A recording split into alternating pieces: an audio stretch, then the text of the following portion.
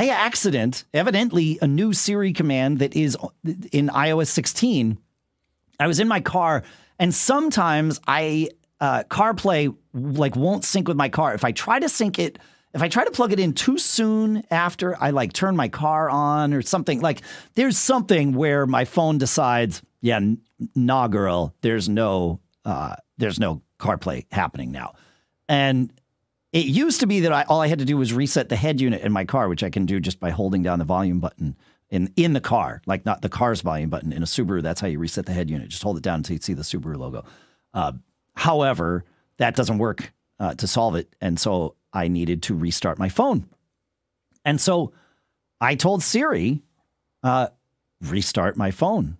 I might have said reboot my phone. I think either will work. And it asked me, Are you sure you want to do that? And I was shocked. I didn't think it would work. I was just driving and didn't want to like mess with my phone to restart it. And sure enough, my phone restarted.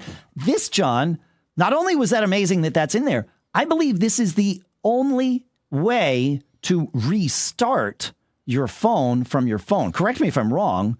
You can go into settings general and shut down your phone. Yes. That, but I don't think there's a way to tell it to restart other than this. So, um, so Yeah. I, I, Shut down. That's the only right? That's the only one that's there general. Yeah. in settings general. Yeah. So, like, it's weird to me that there's no restart button on the phone or restart command in the phone. And it's even weirder that now the first place we get it is, uh, is with Siri. So, I, but I was happy. And then I looked online. I'm like, how long has this been here? It's like, oh, a couple of weeks. I don't, I've never tried it in the past, but, uh, but yeah. So fun stuff. This may be new to iOS 16, or I may simply have overlooked it before. Uh, now that the percentage is available for display in the battery icon, I tried it and in fact didn't like it. It is simply too small for me to see without my glasses, so I turned it off. Then on a whim, I asked Siri a one word question Battery?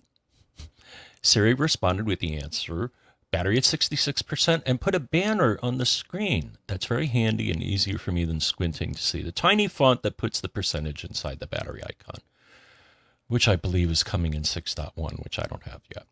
Oh, for for iPhone mini users. That's right. Yeah, yeah, yeah. Yeah. Yeah. Yeah. And a better display of it too. I, I think we all will want to try it again if we've tried it and, and ditched it. Because it looks like they fixed some of the the user interface stuff in the 16.1 beta screenshots that I've seen. So yeah. Mhm.